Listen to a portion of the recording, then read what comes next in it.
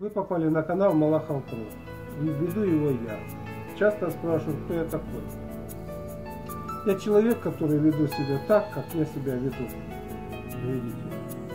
Имею на все вопросы, что касается окружающего меня пространства, свое собственное мнение. Если оно вам интересно, и если я вам интересен, пожалуйста, смотрите. Читая ваши ответы, я столкнулся так с двумя случаями. Первый это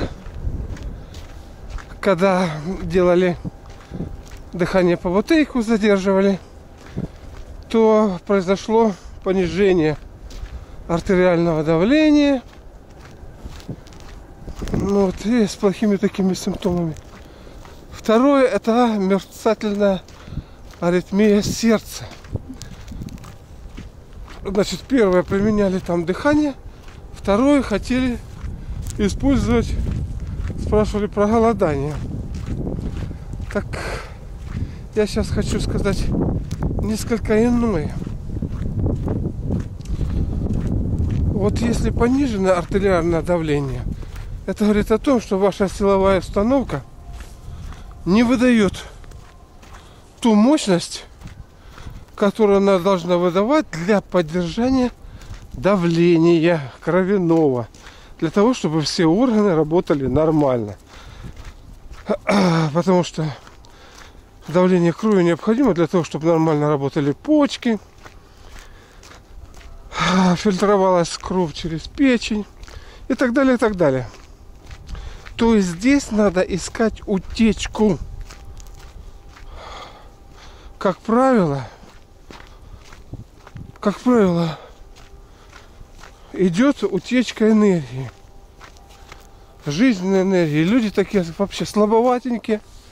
Чуть что они вообще силы у них кончаются довольно-таки быстро от такой более-менее нагрузки ну, физической которые они там ну, в обыденном в обыденных случаях особо не испытывают. Ну, например, там надо пройтись пешком быстро. Ну, вот более-менее какое-то длительное а, расстояние. Сразу же чувствуется, что у них жизненный потенциал на очень маленьком уровне. То есть важно понять, куда эта энергия уходит. Это связано больше не с физическими какими-то факторами там, а, а уже более с тонкими телами. То есть идет, идет отбор энергии или утечка энергии. Как это определить? Это определяется во снах, если вам снятся сны, в которых вы пугаетесь, вам страшно, то есть вот как раз вами показывают, в каком направлении происходит утечка энергии. То есть в этот факт пониженного кровяного давления, он, я считаю, хуже, нежели повышенное кровяное давление. С ним справиться легко накопили углекислоту, меньше эмоций, и у вас тонус кровеносных сосудов пришел в норму, давление понизилось. Это самое верное в нормализации кровяного давления высокого. А вот с низким это гораздо труднее.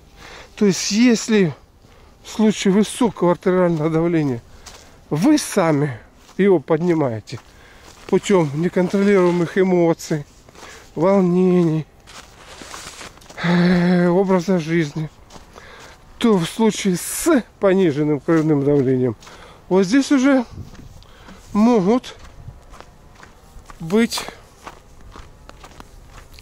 посторонние причины – но которые опять-таки базируются или основываются на том, что вы создали какую-то слабину, которая и способствовала утечке энергии либо паразитированию на вас тонкоматериальных сущностей. Вот этот вещь надо искать, что, что, откуда, и убирать. Что касается мерцательной аритмии, голод тут, конечно, поможет, но важно понимать, вот сердце работает, все там, идут импульсы на него, чтобы оно нормально сокращалось. То есть мы представляем механизм. Идут, все нормально, но появляются какие-то другие импульсы, которые заставляют его э, сокращаться, так сказать, трепетать. То есть ряд импульсов каких-то идет, мелких, я бы сказал, помех, которые возникают ну, в сфере электрической стимуляции сердца, который приводит к таким результатам. Значит, то есть, это же тахикардия, все это то такое, то есть все, что связано с ненормальной работой сердца в смысле его сокращений, это уже где-то идет от эмоций. То есть какие-то глубоко спрятанные в вас переживания, волнения дают своеобразную наводку. И эта наводка в виде электрических импульсов идет на сердце, то есть ваша, ваша опять-таки аналитическая система находится в неком дисбалансе. Что ж тут делать? Как восстановить вот эту вот нормальную сократительную работу сердца? Именно избавиться от всего постороннего, что мешает. Вот здесь, как правило, еще раз повторимся, это эмоции, настроения, какие-то глубоко затаенные страхи, э, переживания, которые сидят внутри вас и, будем говорить, вот выдают соответствующие импульсы. Вроде детское объяснение, но тем не менее, если человек хорошенько успокоится, а значит расслабится – то это исчезает. Поэтому здесь не столько важен, опять-таки, там голод или еще какое-нибудь там сердечное средство. Здесь важно рассуждать и находить причину. Как только вы нашли причину, уже это 90% успеха. Уже, грубо говоря, проблема снимается примерно на 90%. 10 это ваша работа уже, целенаправленная работа в данном направлении. Вот об этом я хотел бы с вами поговорить. Как обнаружить, что вот у вас эмоциональная проблема? Ну, довольно-таки просто.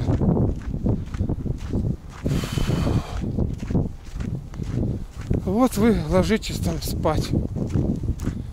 И что там перед сном у вас в голове крутится? В уме? Что там рассматривается? Спокойное состояние. Тревожное. Если тревожное, на какую тему идет тревога? Или там страх, или еще что-то там такое. Что, что заставляет вас, вот так сказать, быть напряженным и неспособным расслабиться? Далее просто можете сесть, закрыть глаза, попытаться расслабиться. Что в голову полезет? Вот обычно первые такие мысли, это как раз заботы. Они кружатся, кружатся, сознание наматывает, наматывает вашу собственную энергетику.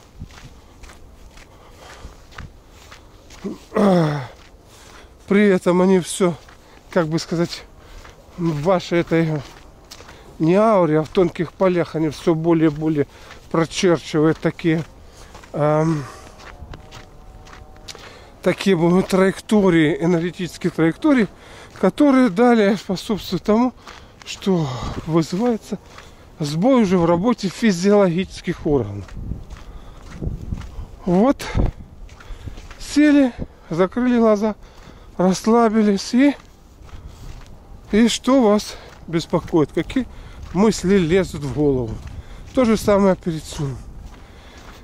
И далее уже работайте с, этим, с этими мыслями, с этими ситуациями. почему они возникли, как их устранить. Я лично вот так вот поступаю. И когда человек понимает, что его беспокоит, понимает вообще сам себя, то он получает совершенно иные результаты.